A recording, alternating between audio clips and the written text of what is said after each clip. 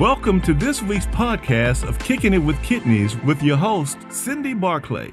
Hey, Cindy, take it away. Hello, friends, and welcome to Kickin It with Kidneys, a forum to discuss topics important to the dialysis community and to provide a legitimate platform for those whose voices have historically been suppressed. In this episode, we will present part two of chronic kidney disease and its impact on vulnerable communities. We'll take a closer look at prerenal screening, the five stages of renal failure, and how to prevent disease progression. Now, most folk believe that poor lifestyle practices and dietary noncompliance play a primary role in our inability to contain yet another healthcare disparity. Our panelists will continue to review, our, review the social and economic disparities that affect healthcare practices in the communities of color. And lastly, We'll share additional information on the financial burden of patients, their families, and the healthcare industry. To help explore these topics in more detail, uh, we'll introduce our panelists Maria Jimenez, RN Administrative Quality Dialysis, Rita Williams, Licensed Renal Social Worker, S. Scarborough, Master's in Business Administration and Entrepreneur, and BJ Simone, Master's in Sociology and Health Services researcher and trainer. What's the word on the street, BJ? Okay, thanks, Cindy. Our people on the street today are going to share some very personal insight. So let's play close attention. Word on the street with Simone. Hey, Simone. We had it today talking to dialysis patients, and we asked them how many years they had been on dialysis, what caused their kidneys to fail, and are they on the transplant list? Here's what they had to say 18, diabetes entered into my kidneys and messed them up. No. I tried three times, but three times I failed. The diabetes had one time when I tried, they found I had a hole in my toe. That failed me. And another time I went, I had uh, uh, my leg had a, a sore abrasion that failed me. And the last time I checked, I, they said I had heart issues. That failed me. This is this is um, June will be three years. Uh, I have scleroderma, scleroderma, which is a um, autoimmune disease. No, not on the list. I also have lung disease uh, where I need uh, double lung transplant. Also, uh, in uh, heart failure. So until they get my heart stable, then I won't be able to get my lung and kidney transplant. Those were powerful answers. And I know that it pulled at my heartstring when I first heard it. So I think what we definitely hear is the struggle that these people and many others like them experience uh, in just trying to live with chronic kidney disease. And um, I think that makes it more important that anything that we can do to help them and inform other patients and the public is really needed right now. Yes, I, I think I, I do agree with that. And to help us along in this process, uh, Maria, mm-hmm. can you give us a, a little bit more information on pre-renal and the five stages of chronic kidney disease? Sure. Um, as a first step, usually with diagnosing kidney disease, um, your doctor will discuss personal and familial history with you. Um, among other things, they may ask you if you've been diagnosed with high blood pressure, if you're taking any medications that may affect your kidney function, if you've noticed any changes in your urinary habits, and if you've had any family members um, that were diagnosed with kidney disease. Um, with this diagnostic testings, there are certain tests and procedures like blood tests, um, urine tests, imaging tests, uh, removing a sample from a kidney for testing if that's um, necessary. Uh, but bringing in back last week, we had discussed the GFR. That is the glomerular filtration rate, and that is done with your labs based off of your age, race, gender, things Mhm. of that nature. Mhm. Um, so the GFR um, is a number based on your blood test for creatinine, um, which is a waste product in your blood. So when so when they do labs, so when your physician does the labs, uh, patients need to look at that number, that that creatinine, to see what that your is. primary care should be looking at that Okay, as well. pri- primary care physician. Correct with Okay. those lab works because when you're in the um, stages, there's a CKD one through five, Okay. um, stage one through five, and that was created so that you can have a, a baseline of what part uh, that you're in in your disease process. Um, so starting with um, CKD stage one, it's an early stage. Some people are CKD uh, stage one and stage two are the Mhm. early stages, and a lot of patients are not symptomatic at all. Um, but there can be signs of kidney damage if you're spilling protein in your urine Mhm. or any physical damage to your kidneys, any trauma to your kidneys. So that's why it's important to follow up with your doctor. You know. absolutely, Okay. absolutely. Mhm. Now, CKD stage three is actually broken up into two phases. Um, there's a stage 3A and a stage 3B, which um, basically st- some of these patients still don't have any signs and symptoms, but if they do have signs and symptoms, you're considered a 3B stage. That's where you're going to have the swelling in your hands and the feet, um, back pain, hmm hmm urinating Mm. more or less than normal. So is that when they start seeing the nephrologist or something? At this or- point, you're still with your primary care. Okay. Um, but once you get to stage three and you become symptomatic, you should definitely visit uh, with the nephrologist. okay. So what is that number? For That stage say- three, yeah. the G- GFR needs to be between 30 and 59. okay. So when you say so you go from higher numbers. Your Uh-huh. GFR starts at 90 and greater, you're Mhm. okay. But once you hit that 90 mark and you start going down, that's when you're classified uh, with the sections of CKD. So CKD stage one is 90 or greater. CKD stage two is between 60 and 89. And as you progress down to CKD three, um, it's between 30 and 59. Now, CKD four, um, at this point, this needs to be taken very seriously. Um, this is the last stage before your kidneys are considered in failure, complete failure. Um, at this point, you still do have increased swelling, increased back pain, urination issues, um, blood pressures that are, you know, all out of range. Um, but at this point with CKD4, you should have already been with a nephrologist, actually have been partnered with a dietitian to help you with um, dietary changes as well. And at this point, you should be preparing for stage five, which is kidney failure, Oh, wow. preparing for the te- potential for dialysis or the potential for renal transplantation at that time. So the stages, Maria, do they they're individualized as well as a patient? They don't go. I mean, what's the time? Is it a time span between? Well, it depends on what you do to when you're in the early stages, what you're doing, what you're being proactive with doing to Ah. stop the stages from progressing. Okay. Um, So the know, patients need to be in there and taking care of their health and Correct. following correct. directions from controlling the blood sugar, Oh. even if it's bad at this point. If with more control, you can slow or potentially stop your kidney disease Ah. process at that time. Uh, blood sugars, um, making sure your blood pressure is under control, not smoking, eating healthier, um, being active. Mhm. um, at least 30 minutes five days a week and maintaining a healthy weight as well. Okay. But by the time you reach CKD f- uh, 5, stage 5, your GFR is less than 15, which means it's time to start. So you're saying out of 100. So let's just use an analogy. So I've got 100%. So you're saying that right now I'm using 100% of my kidneys. And when they diagnose me in stage five, that I'm at 15% of Correct. that. Oh my gosh. Yeah.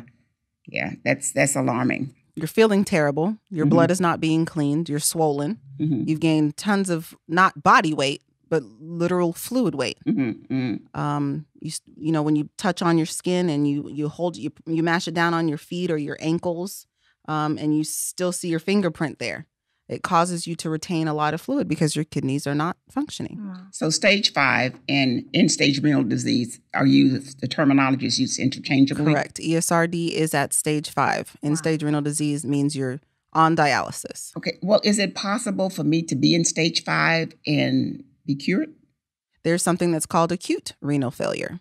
Okay. Um, to where you may have to be in stage five, start dialysis, but we're monitoring your functions, monitoring your labs, monitoring your fluid intake and all that good stuff to see if there's a potential for for, for recovery. Right. And sometimes there are. what is the probability? Is it high or low or like next to none? It depends on the reason why you started dialysis. Okay. There's sometimes there's trauma Mhm. where the kidneys are just shot based off of medications that they gave you in the hospital at that time and there's no chance for renal recovery. Mhm. But a lot of times if you've got the diabetes and the hypertension, um, slowing that will slow the process or reverse the process. It, ca- it Mhm. could. If you see your doctor and do what you're supposed Right. to do. Compliance is key. Compliance is the key. Rita, so we talked a lot about African Americans, Right. You know, since they're the primary shareholders in all of this, Right. Okay, We're right behind you guys. We're, we're buying up community. okay, let's talk about your your your Sure, Latinos and your. As we know, the Latino community comp, uh, is one of the largest minority groups in the United States. They, you know, it's a high burden of uh, chronic kidney disease. I mean, we have a lot of sugar diabetes. We have a lot of high blood pressure, right yes. behind every other minority Yes, as yes, well. yes. We're really making strides, I guess. We're catching up. We're catching up. But there is a difference for minority treatments. I was reading some of the research, and research has shown that those with medical insurance, Mhm, you know, they mhm. may have medical Mhm, insurance. mhm. There's a delay in services as well. Like Maria was Did talking you know? Did you know that only ten percent of the patient population that's on dialysis have an actual health health insurance? That's right. That's right. A commercial Only insurance. Commercial insurance. Yeah. Okay. Yeah. Only Once they 10%. get into dialysis, then we can start doing those applications and assisting them to get Medicare. Okay. Yeah, Okay. it is true, and that's what you know. Twenty five percent of Latinos have regular a health care provider, like Maria was saying. That PCPs, a Mm-hmm. Yes. lot of the Latino community does not go to their PCP to begin with for basic health care, Yeah. and then they start noticing, like you said, the swelling and all that kind of stuff, and they're like, "What's going on?" You know, they haven't been taking care of their diabetes. They haven't been taking care of their, you know, high blood pressure. well, let's So- talk about resources though. Okay. Well, and some of that is that some people have insurance, like you said, 10%. Mm-hmm. percent A mm-hmm. lot of them are underinsured, though. Even if they do have that insurance, they're underinsured. By that you mean Well, it's not enough. Some of it covers some part of renal and and some of what it is, a lot of our patients can't afford the copays that go along with this insurance. Mm-hmm. You know, to see a nephrologist, that's a specialty. It's may be a higher copay. Mm-hmm, it may be mm-hmm. fifty dollars instead of the twenty-five or the ten or whatever that. You know, specialties are always higher copays. So, you know, if you're choosing between going to see a specialist and seeing your regular doctor, you may mm-hmm. want your PCP to care for that. We know that's not a good idea. Uh, Yeah, The idea is to go on to that nephrologist and start following all of that. A lot of things also that we found was that. Um, the, like I said, they don't have the money for those medical tests Maria was talking about. The treatments, maybe there is something they could do, you know, different medications and stuff they can be on to be with the high blood pressure and the sugar diabetes to mm-hmm. bring those down mm-hmm. so we don't progress through the stages as fast. I mean, Right. or stop it. You said they could stop it, right? At the one point. generational curses again. Yeah, Here we right. go. Yeah. Generational curses. Yeah. So it's like, well, my mother had it. I'm going to have it. Why am I taking all these pills or going to see all these specialists? But, you know, uh, of course, some of the social factors are the poverty, the economic instability, the limited to health insurance, uh, communication barriers. Yes. I mean, yes. even with your primary care doctors, a lot of people that only speak Spanish, the primary care doctors don't speak Spanish. And once again, we have to use the translators, and sometimes things get lost. So, BJ, tell me, Mhm. can you uh, are you aware of any healthcare uh, initiatives in the communities that would improve the outcome of uh, this disease and disease awareness? Well, yes. uh, Um, you know, we we touched on so many things in, in our last episode, um, but I wanted to start by looking at national healthcare initiatives, and I got this idea from something that Sarita said. Um, so it was very interesting to find that the Office of Minority Health which is under the Department of Health and Human Services. Okay. Um, actually has the prevention of kidney disease listed as one of their uh, specific focus areas for the fiscal year 2020 2021. Mm-hmm. Um, now, I don't know how this is going to translate into real world application, but it's good to know that at least it's on a national agenda. And one of the other things that they included as one of their priorities was cultural competence okay. Uh, okay. among healthcare providers nationwide. And that was something that Maria and Rita alluded to last time uh, when they were talking about the challenges of constantly talking and educating patients, and it doesn't seem to be working. Um, making a point with them. They don't seem to get it. You know, they're not connecting the dots.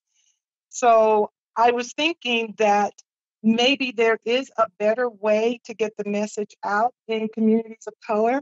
Um, and this is something that I would like to just really explore with the group in, uh, in a little bit more detail. Okay. I, and I also read some of that uh, of research as well, and it did talk about how a big part that the PCP doctor does play in that, encouraging mm-hmm. the minority community to mm-hmm. get the pre screenings and stuff like that, and also that building that relationship. You know, because some of the the the the signs or you know lower back pain mm-hmm. can mm-hmm. mimic mm-hmm. other things but mm-hmm. you know mm-hmm. to start thinking and bringing forefront that kidney care is very prominent in minorities yes yes yeah. it is yes, so being culturally competent about our ailments as well well maria you've worked with a lot of these patients and basically what i've seen as i've worked with them as well is that um sometimes they are very complacent do you see a lot of that Oh, a lot. How are we going to change one's thought processes? How are we going to get you rejuvenated and recharged to take care of yourself and to understand that the benefits and the organizations that are around now uh, that are attempting to help you may not be here in the future?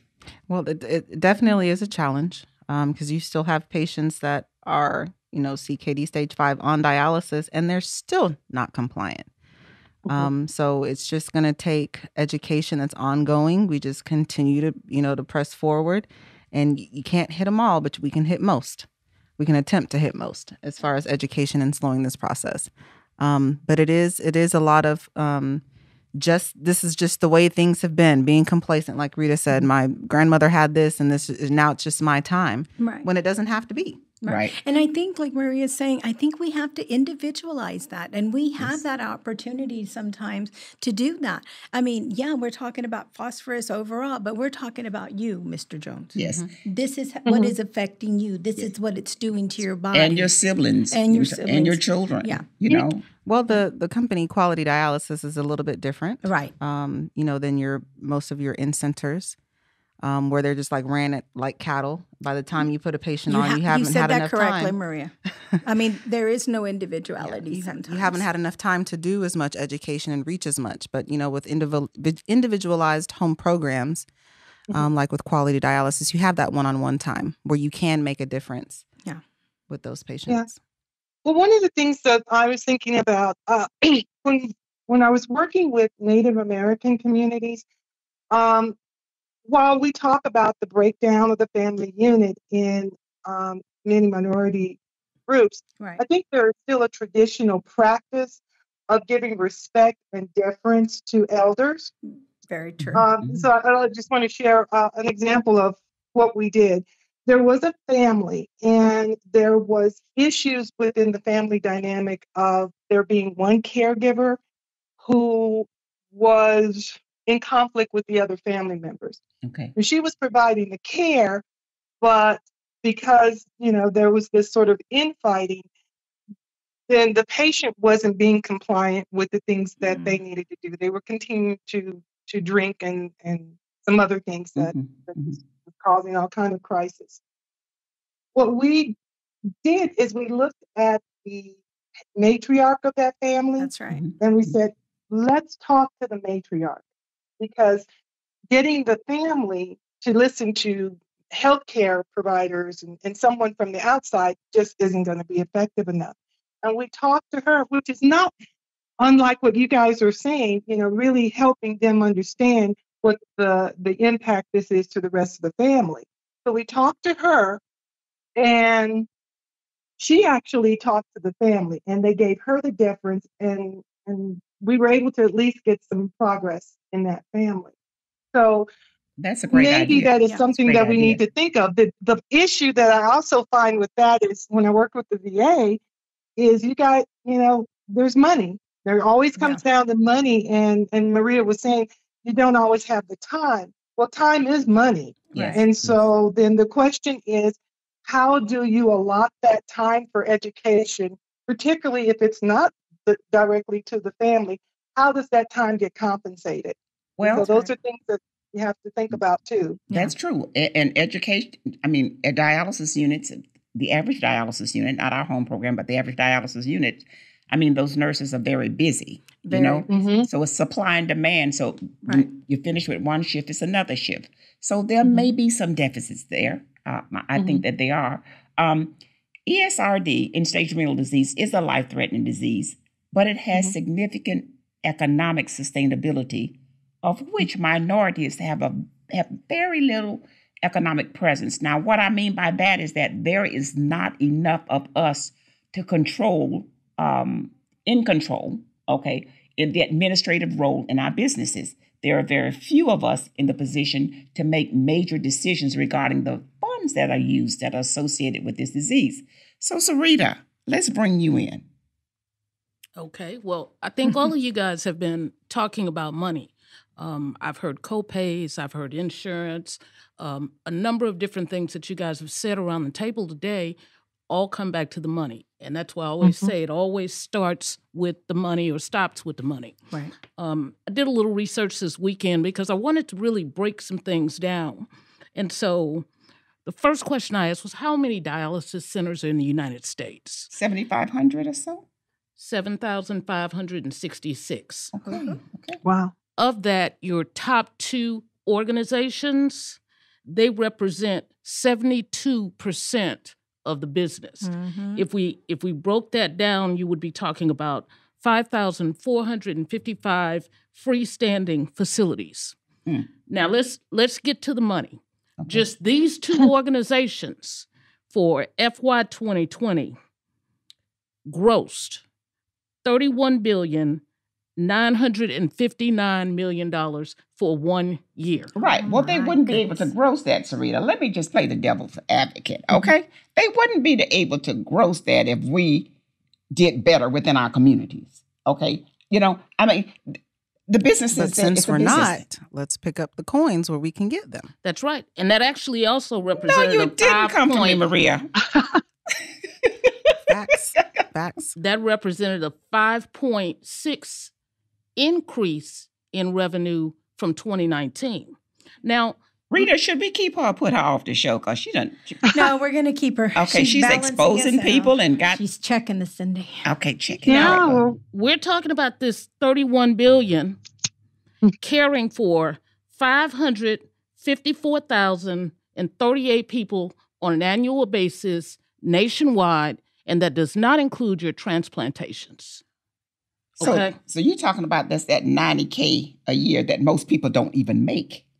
That's correct. Okay. That most people don't even make 90K a year that we're spending that patients may not be getting the best information. They may not be understanding what they need to do with their families. They may not be able to, you know. If if they're if Medicare is paying for it, it's not their money. Mm-hmm. Oh, but it is their money. It, it might be yours, but it may not be theirs. But I like to think that they, at some point in time in their lifespan, paid into the Medicare system. Well, So are you saying that that was then and this is now? yes. Okay, but go on. Continue. now, the, the the other thing I want to point out is when you talk about uh, minorities having a bigger share, I didn't do a total sum, but in Just a voice. You know, I- I'm just talking about a little seat at the table. well, I'm talking about the money. Okay. I'd like a piece of the pie too, Mm. but and ice cream. but what we what we find if we use what we call supply chain management, Okay. and we Mhm. talk about who is all involved in the process of dialysis from start to finish. Mhm. Now, I did a partial listing, and I came up with about twenty different individuals. Mhm. You're talking about insurance companies, Mm-hmm. general practitioners, nephrologists, billers, coders, collection Mhm. agencies, um, marketing and advertising. At the higher level, at the federal level, you're talking about lobbyists. I want dialysis Mhm. patients to really listen to that because these Yeah. are all the people that are uh, recipients of funds. Right. Okay.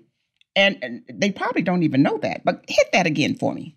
Well, I'm just I'm just naming a few. Your lobbyists, your lawyers, your technology, your IT people that put the software and the systems together that are required by CMS to be able to do the reporting. Mhm. You're talking about your transportation, your accountants, your distributors. Oh, and let's not forget your pharmaceuticals, your manufacturing Big of the time. machines.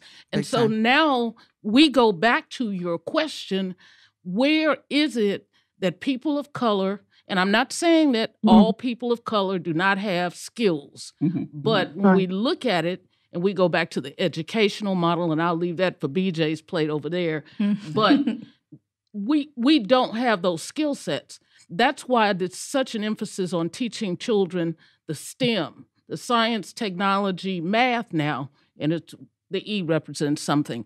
Um, but this is why we are not at the table and now why we are not getting a piece of the pie. Hmm.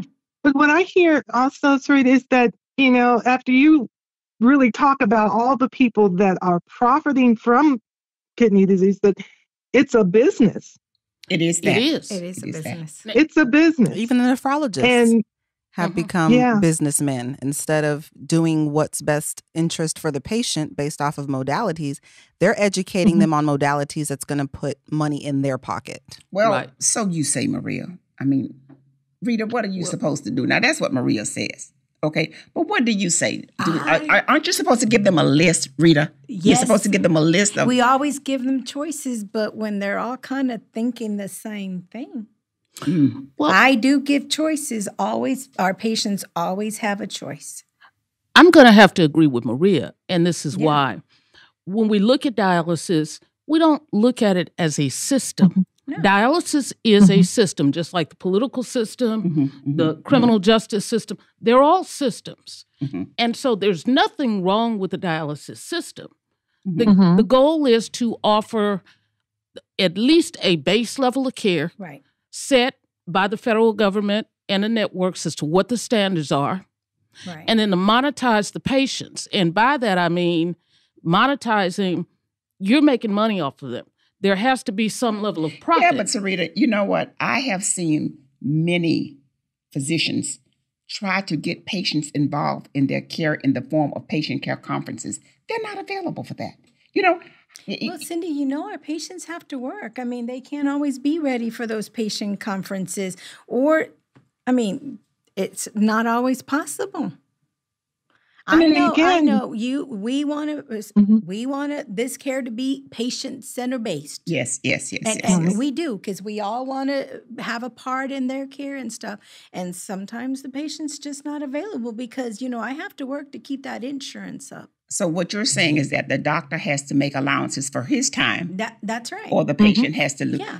Oh my goodness! So that's a tough pa- decision. yeah. that's a tough decision. Well, decision. you know, also I think there's one of you know we we mentioned this in an earlier episode when we talk about unfortunately racist attitudes.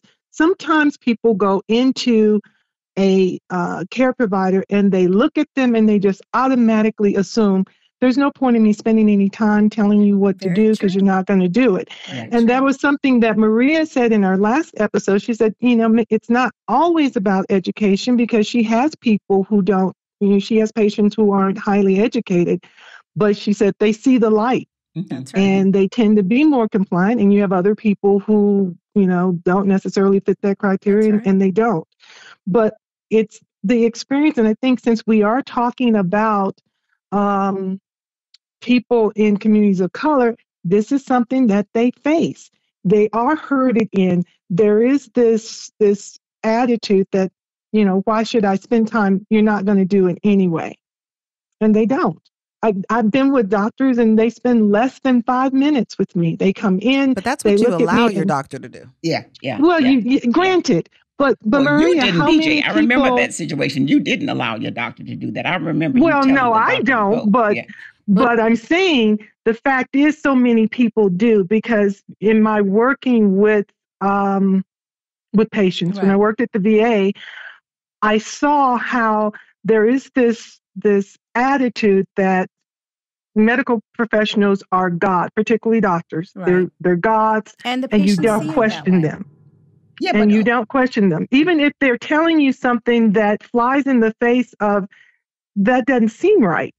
You mhm. may not know what's wrong with it, but it doesn't seem right. You know, maybe tell me what else I can do. And so, yeah, I think we can't ignore that as being something that people of color face No. To think- their detriment. I think the flip side of that, though, too, is that Mhm. the population that we're talking about in many cases, Yes. um, they don't know what questions to ask a ask. doctor. Right. I, Correct. I Right. often have I call a friend of mine who happens to be a nurse, Mhm. and I'll say, "Well, what does this mean?" Right. You know, the doctor Yes. has a way of explaining things that are not in lay terms Vacuum. to Vacuum, like in the vacuum. people, Yeah. and so Yes. over They a period of time, they're going to get desensitized and just Yeah. be like, "Okay, let me let let me let them say what they're going to say, and then I'm going to go home and still do what I'm doing because I didn't That's right. understand what- what he or she Or said to begin looking, with." You're looking Right. for someone to translate what the doctor said. Yes. Yeah. You're yeah. still Right. walking out with the nurse saying, and the, the doctor Well, a said lot of those, a lot of the people in the doctor's offices are not nurses. That's right. You know, you're, you're th- right. Yeah, so You're they right. don't have the knowledge That's right. um, to kind of, you know.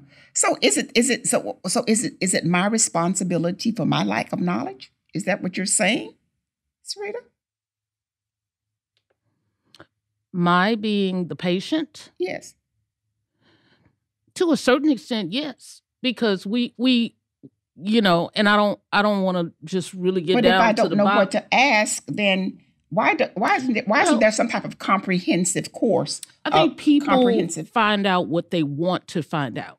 Well, I want to know everything about my well, kidneys. sometimes at these doctors' office, it's like the blind leading the blind, Cindy. And sometimes you don't even see a doctor. You may go See, two or three appointments and see uh, Practitioner. the practitioner or someone PA. else, and then the doctor comes in once a month and says something to you and is out the door and writes on his chart, sends it over to the biller and the coder, and says, "I visited with uh, Mhm. Miss Scarborough today." But there's access to information. Again, we are in the age of technology. that's true. And whether it's good information or bad information, the information is there. What are we doing with it? Well, I think you missed the first episode. If you ever want to keep a secret, put it in a book.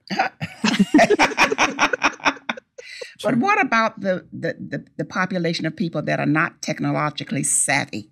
Okay, I mean, my generation, I've had to come up to speed. Okay, but Mhm. there are a lot of people in my generation, computers. You know, I mean, they, they sit, they'll watch television, but they're not very versed on the language. They don't know a lot about computers, Maria. You're young, you're energetic. You know, you were brought up on computers, were you not? Yes, I was. Okay.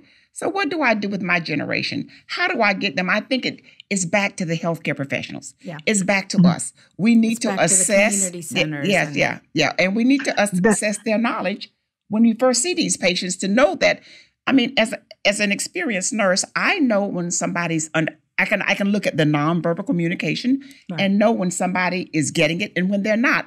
And not just push them aside and say, I trained them and that was it. You know, Right. we, we've got to do better, I think. Well, I But think I- we have to hold people accountable. If it's our PCPs, then we need to hold Mhm. our PCPs accountable. I mean, if that is who my contact person is, because you know we're working with insurance and we're working with money. If the, my PCP is supposed to manage my care, then why doesn't he have all this education available to me? Well, and I Well, think one the of the initiatives. Okay. oh, go ahead. Go ahead.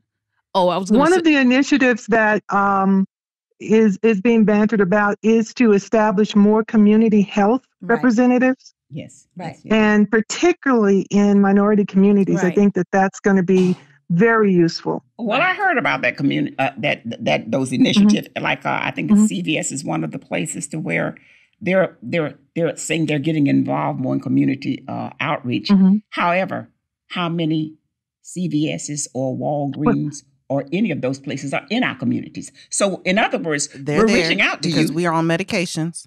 They're Mhm. there. Right. We're on medications. They're making money. They're in the they're in the hood. They're in they're the hood. in our neighborhood. okay, hood. well, I'm, I'm going down to the hood next week and check that out. they're there. Okay, they're there. Stop All by and wave at me. Oh, oh, you're in the hood too? I'm in the hood, okay, too. all right. All right. you know, the, the only thing I wanted to add to that though is that Mhm. um, what I understand about dialysis is that part of the the the glue that's missing is the family involvement. When you talk Mhm. about the seniors, now let's just use for example, if I had a grandparent that was on dialysis, he or she may not be able to use the technology, but you would think somewhere between me and my siblings or my parents, there would be some kind of way to support that. I mean, when a person gets to be a certain age, they don't take themselves to the doctor. You rely on others. They Right. rely on others. And it's usually a Family family unit. person. Mm-hmm. Right. So I often found myself going to the doctor with a family member. Right. And then when we got home, I'd have to explain well, you're supposed to take this so many times a day. These are the consequences if you take this incorrect. They just don't know. So when we're dealing with seniors, we're dealing with a special group of people that are unlike the ones 65 and above. Mhm. Right. And I think Mhm. that's where you have to Yeah. get more and family we've involvement. talked about the family unit or the family network or Mhm. whatever, but we see it breaking down. Yes. I mean, we s- Grandmother's 35 years old. Yeah. I met a grandmother the other day, 35 years old. Okay. What is she going to be able to? she was busy. What? What did she say? What did she She get said- people to do? What? Scarborough said she was busy. Isn't that horrible? Okay. So you said she was 35 year old grandmother. yeah, yeah, yeah. They're getting younger and younger. Okay. Oh yeah. So, so we have a lot of deficits, and, and, and our job is to educate our renal patients. But there are so many problems within our community, Sarita, as you know. And and and how do you make money again? Poor folks, right? Mm-hmm. And most poor folks are who? People of color. But it doesn't say that the system is not working. Okay. That that actually is the whole point. Okay. The system is designed to make money off of people. Mhm. And that's where we talk about the monetization. In this Mm-hmm. particular example, it just happens to be people who are poor and people who are of color. Right. But as you said, it is a business, and maybe part of the mission in in helping our communities is helping people understand that just because the business exists doesn't mean you have to be a willing patron of it. That's right. That's right. Well, we have to kind of wrap the show up. So let's get some final thoughts. We're going to start with Rita. Okay. So I think be a voice for yourself. We need to Mhm. empower our communities to be a voice for themselves. Speak out. If something's not right, make the change. All right. Maria. All right. I just uh, think an important thought or thing to remember is that with chronic kidney disease, your kidneys do not usually fail all at once. Um, it's a Mhm. disease process that is very slow um, and often over a period of years. So that's good news about the disease process. And you can catch it early with medications as well, lifestyle changes. Um, and helping slow its prove- progression um, will keep you feeling your best as long as possible. So stop the bleeding. I like that. DJ. Um, well, I think my final thought for for today would be uh, to find ways to promote that education. We talk about communication. I think working with finding more effective ways to communicate in the uh, in communities of color that we can't say one size fits all. That's there are specific things that we really need to target for minority groups that don't necessarily translate to other groups. Well said. Sarita. You're smiling. Well, of course, I'm gonna always take a different approach, but I'd I'd like to see minorities become more involved in the process of the techno the technology side or the business side of Mhm. dialysis. Mhm, mhm. And so we have to we have to create ways to train individuals. I mean, it could be as simple as a, a lab technician Mhm. or an LVN. Doesn't but that's the way we start making money from the system. Mm-hmm. mm-hmm. And and sometimes when we have people that are working with us that look like us, mm-hmm. mm-hmm. then we may be a little more inclined to listen to Mm-hmm. the things that the nurses and the social workers are saying. But you know, if it's just somebody that can't relate, Mhm, you know, when I, when I'm just out and about in a neighborhood, you know, I, I may not be at the same level as the other person, Mhm. but we share the same experiences and backgrounds. And I think that makes a big Mhm. difference. But I think corporate America has got a handle on what you just said because in most of these dialysis facilities, they're black, it's black representation and Latino. The nurses are black, okay. Uh, the social there's workers, lots dietitian. of uh, dialysis units. yes, in the hood. there are lots of them. Okay, But, in the those units, is- they're using technicians Mhm. more so than RNs, Right. which means they're at the lower portion of the pay scale. back and to not- capitalism. Back to capitalism. That's right. We need more nurses. Just and we need more nurses positioned in those units to teach. You see what I'm trying to say? But nobody wants to spend money because that's revenue that's pulling out of one's pocket. That's and correct. I think that's what what we need to do. I like that analogy. Well, let me leave a final thought with you. No one needs to spend time making excuses for our past. We need to participate in the decision making to guarantee our future. Well, uh, that's it. Uh, you guys want to say bye or whatever? Bye, guys. Okay. Bye. All right. See you Uh, next time. okay. So join us next week where we'll be talking about uh, the economic impact of salt. Okay. We hope you've enjoyed our show and we look forward to you joining us next week on another segment of Kickin It with Kidneys. Well, that's it for today. Thank you for listening to Kickin It with Kidneys with your host, Cindy Barclay. See you next week. The views expressed on this podcast are educational and opinion based. These are not medical doctors.